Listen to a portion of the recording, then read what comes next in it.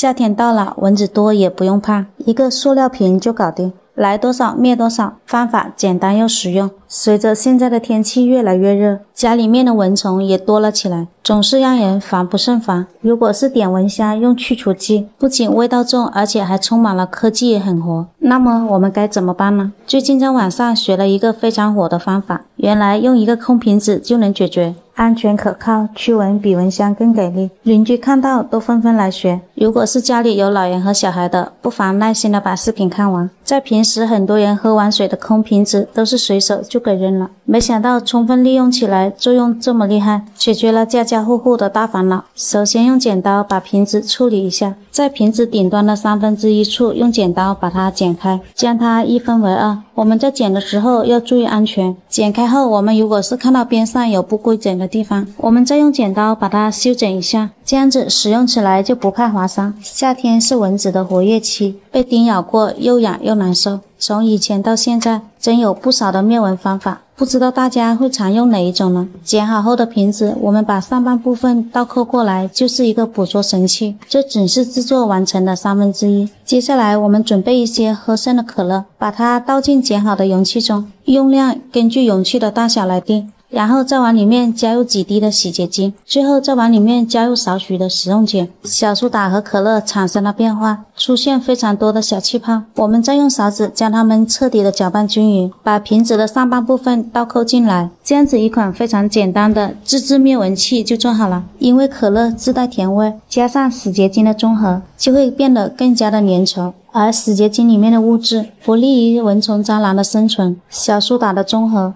更能激发出它的甜香味，而这种气味也是蚊虫最喜欢的味道，所以嗅着气味，它们就会自动跑进来。粘液把它们粘裹住，瓶子由宽变小的设置，让它们无法逃脱。最后，在不利于的环境中再也出不来了。我们可以多准备几个，把它放在窗前或者是家里的每一个角落。慢慢的，你就会感觉蚊虫、蟑螂都少了。方法简单实用，你们也赶紧学起来吧。点赞、收藏、转发，不仅是对我最大的鼓励，还能帮到更多有需要的人。感谢大家的观看，我们下个视频再见。